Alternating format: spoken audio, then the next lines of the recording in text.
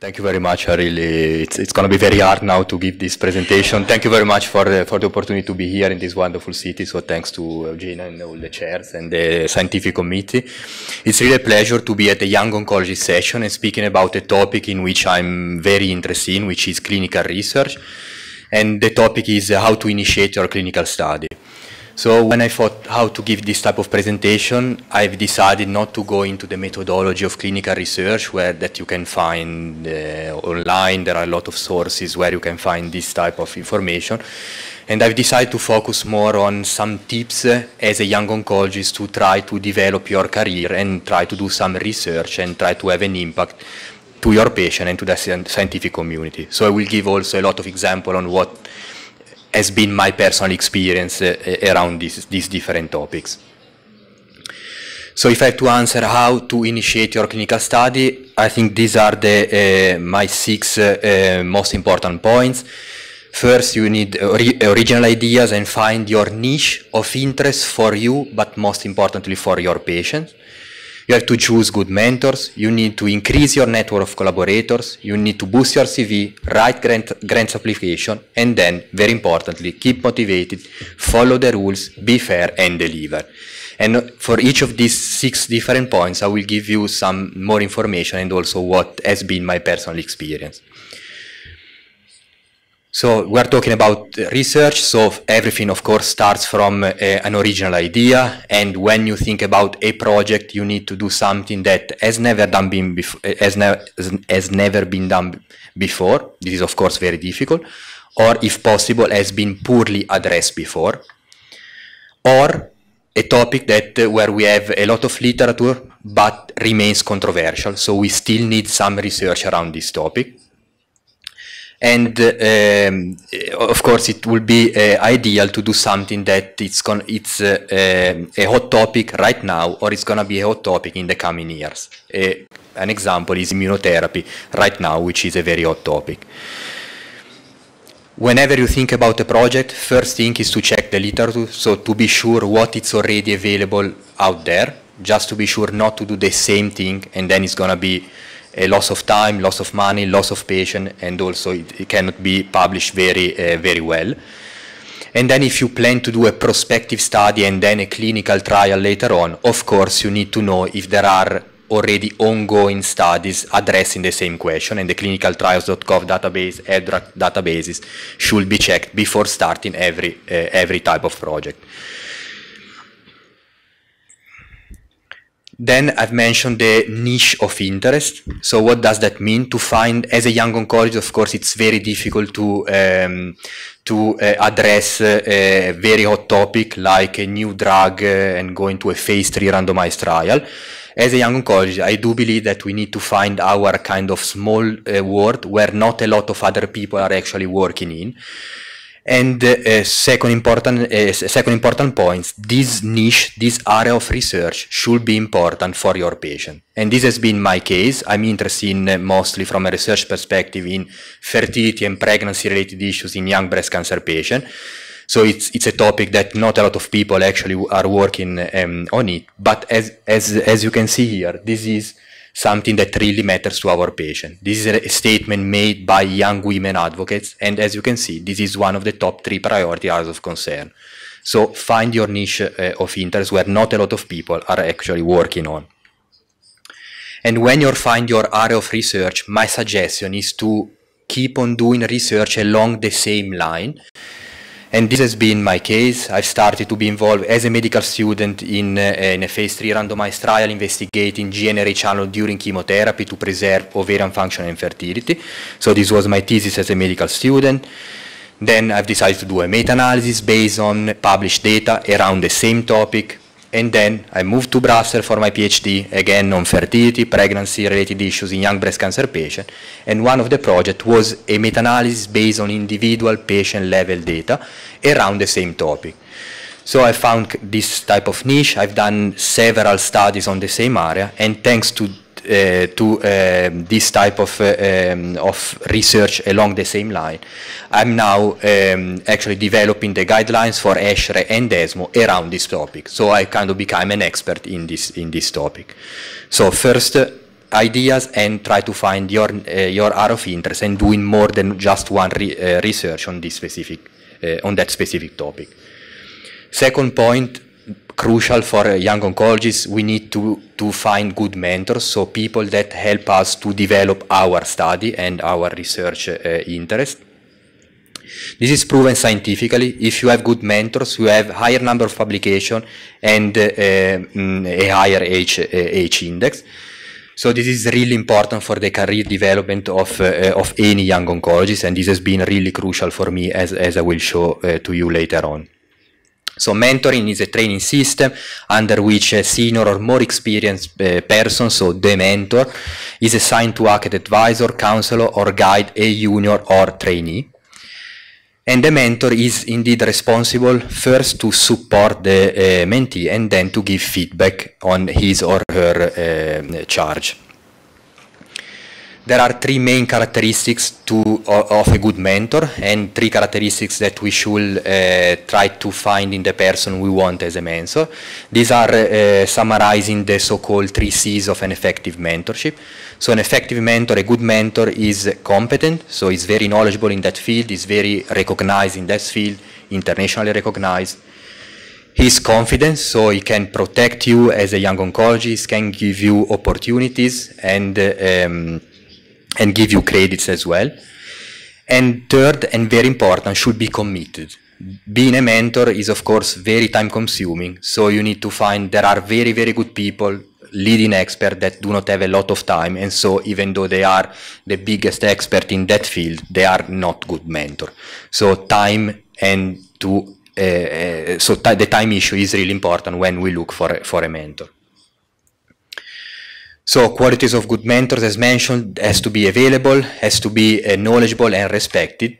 And uh, like a, a, very simple way to uh, to know if this person that uh, I would like to have as a mentor is is gonna be a good or or a bad a bad mentor is to uh, to see his or her track records. So does this person have prior uh, mentors and how the career of these mentors have been? If you see like a, a clear example in the breast cancer field, Eric Winer. Eric Winer is one probably of the best mentor. He has a lot of big, very uh, big breast cancer physician working in his clinic. So he has he has been very supportive to a lot of people and a lot of uh, his mentees have become very successful later on. However, now that I'm kind of moving towards the uh, kind the mentor life, and uh, I'm still mentee, but I'm also mentoring some uh, young students at my at my hospital. I also believe that the mentee needs to have some qualities. So you have to show to be hard worker, to perform, to have a positive attitude, to follow the rules, to have clear career goals, and to me, the most important is the seek for exposure opportunities. So show your mentor that you want to do stuff and you want to show that you can do these things.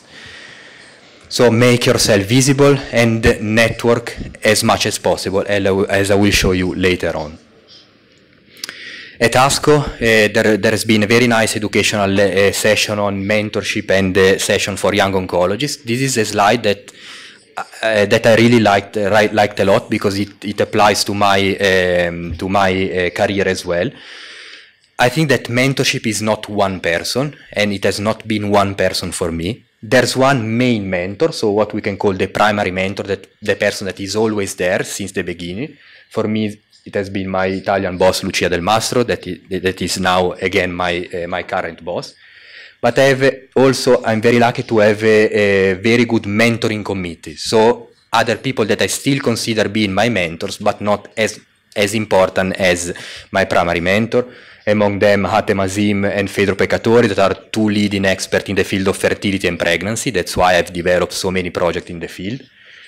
Evandro de for, from Brussels and Isabelle Demeestere, very famous gynecologist from the University of Brussels, again uh, is, these two people were really crucial for my PhD. And then Anne Partridge from the Dana-Farber Cancer Institute in Boston, again working in the same field, breast cancer in young patients, mostly related to fertility and pregnancy. And then uh, I'm a member of the ESMO Young Oncologist Committee, so I will also show you some of some of the um, opportunities that ESMO can give to uh, young members. This is a new project that is gonna be launched and gonna be started uh, hopefully by the end of the year by the ESMO 2019 Congress. This is called the ESMO Virtual Mentorship Program. So this is a program that uh, uh, that try to put young people in contact with leading experts and potential mentors also outside their institution and their countries through the virtual technology. And I do, be, I do believe that this can be a very, very important project for many people all over the world. So even if you have your main mentor in your institution or very close to your institution, you can have this mentoring committee outside your institution, also in the US or in other, eh, in other countries. Third point, whichever clinical study you do, you need to, you cannot do it by yourself. You need to collaborate with other people. So you need to increase your network of collaborators. As young oncologists, this is of course very difficult. When you start your career, nobody knows, knows you. So you are kind of alone doing everything. So my main uh, message on how to increase your network of collaborators as a young oncologist, I have three main take-home messages from these slides. First, get involved in cooperative groups. For my case, I'm interested in breast cancer, so I've been involved in the Italian breast cancer group, now in the breast international group. This is a very good way to have help for your research and to increase your network. Second, Professor Pavlidis already addressed this point. Take advantage of the uh, scientific societies because they provide a lot of educational opportunities. And these educational opportunities, besides science, which is of course the main goal of these uh, of, of these uh, of these um, co congresses, they give you a perfect platform to interact with other young people that are motivated and excited about what they, what they do as you are, because it's the reason why you are attending these conferences. So go to, I, I went to many, many uh, ESMO or ESO educational events over the years.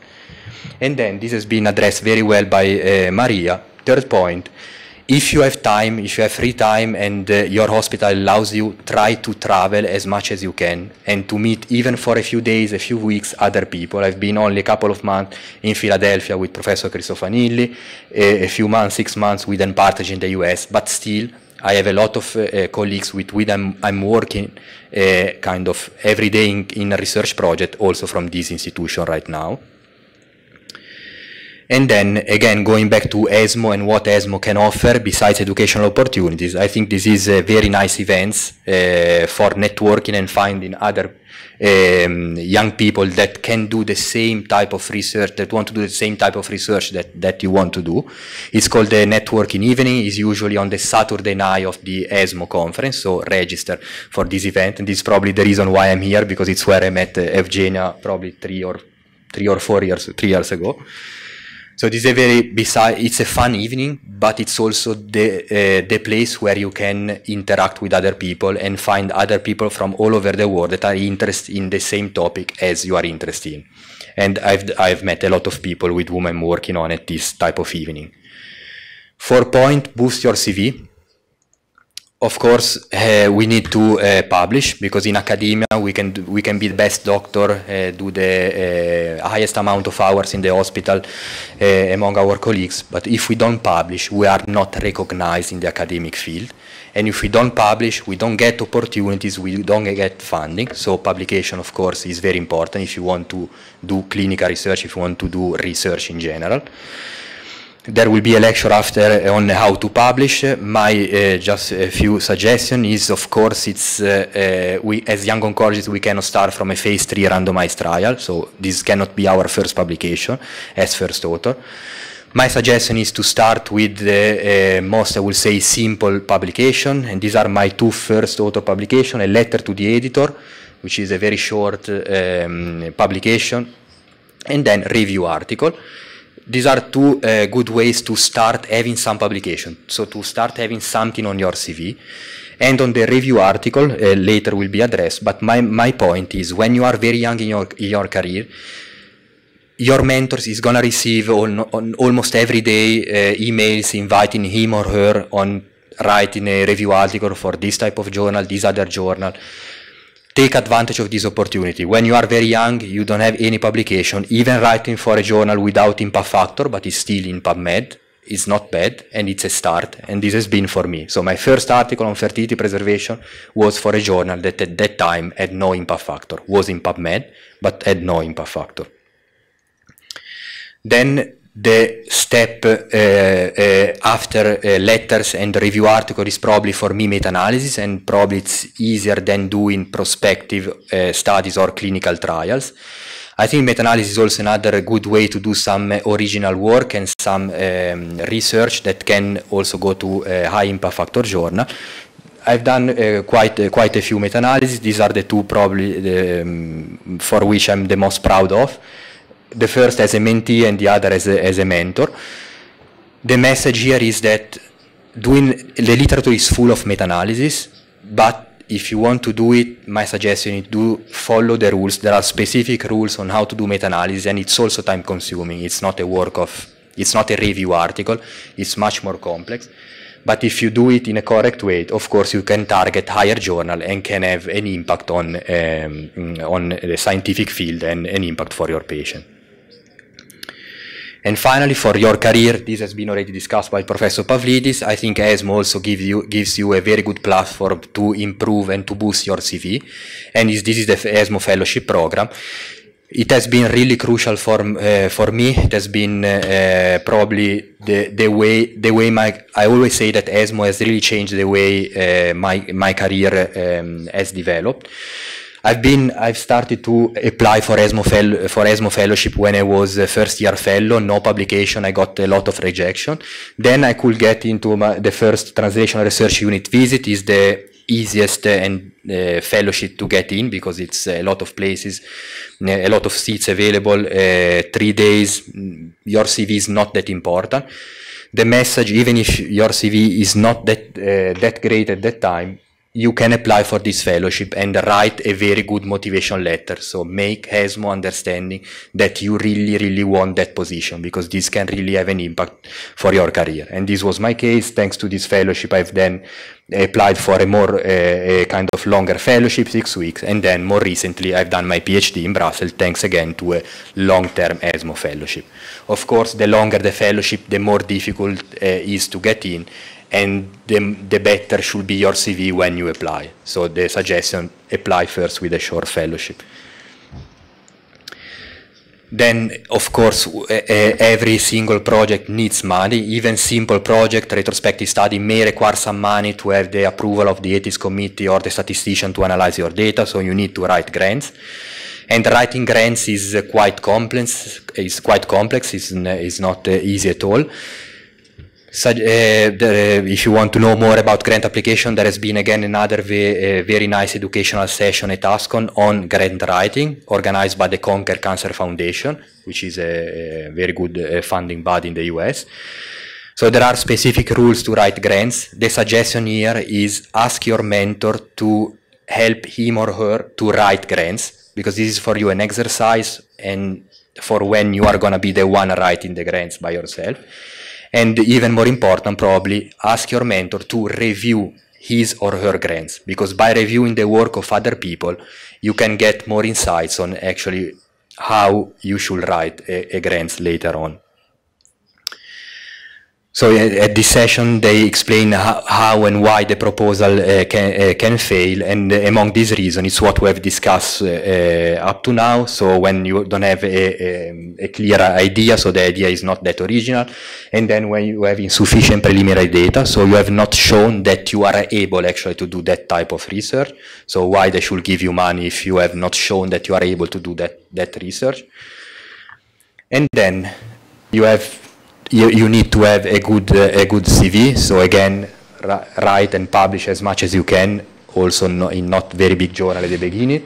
And then here again, one of the most important point, find a good mentor that can support your application and um, help you to succeed in writing grants. Final point, again, crucial one, very important. First, keep motivated So research is, uh, is not a joke. It's uh, it's a very long process, and uh, there are there are gonna be a lot of obstacles during this uh, uh, this uh, long journey from the idea to the final publications. So keep motivated, never give up, and try to finalize your your project despite all these obstacles always follow the rules. There are clear rules for each type of research. I've just shown you something on meta-analysis, but of course everything is more complex for prospective study, clinical trials. Also in terms of uh, regulations, ethics committee, informed consent, uh, research again is not a joke, should be done in the correct way. Be fair, this is very important, especially when we are very young, and one of the most sensitive issues is authorship.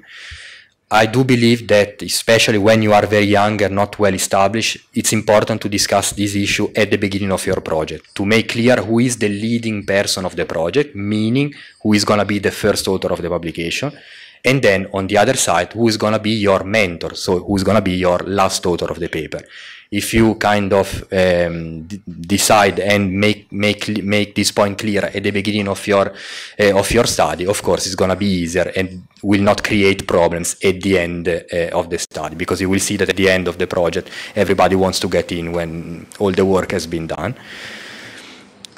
Then of course, again, you have to be fair and scientifically correct. If you do something wrong just to have that paper published and this, this is discovered, your academic career is over. So do it correctly since the beginning. Finally, probably the most important point of, of this presentation is to deliver. And here I'm showing uh, a, the paper uh, that I'm the most proud of even though this was published only in the oncologist, it's a good journal, but it's nothing, nothing really special. This was a retrospective study, so very simple study, very simple idea. But again, this is a project I'm very proud of because I started this retrospective study when I was first year fellow.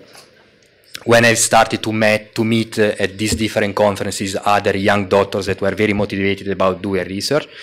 So we were able to uh, um, despite all the difficulties that we faced because we were very young, nobody, also my mentor was not very supportive to me back at that time. But at the end, we made it to the end of the project. So we were able to deliver the idea. From the idea, we went to the final publication. And this publication has really changed my uh, relationship first with my mentor. Since that time, she valued what I wanted to do, my ideas much more than, than before. And then this has been very important also for my network of collaborators because since the time I prove to my collaborators that I've lost their time, but for giving something back. So I think this is very important. When you start something, bring it to the end and deliver your work. So addressing the uh, question, how to initiate your study, conclusion, again, have original ideas, find your niche of interest for you and most importantly for your patients. Try to choose good mentors, increase your network of, of, collaborators also in these events. So take advantage of the presence of Professor Pavlidis here after the end of the talk. Boost your CV, write grant application, keep motivated, follow the rules, be fair and deliver. And then going back to the uh, Latin uh, character, if you ever come to Genova to uh, our hospital to visit our hospital, this is where we can discuss projects with the ice cream very close to the, um, to the hospital. Thank you very much.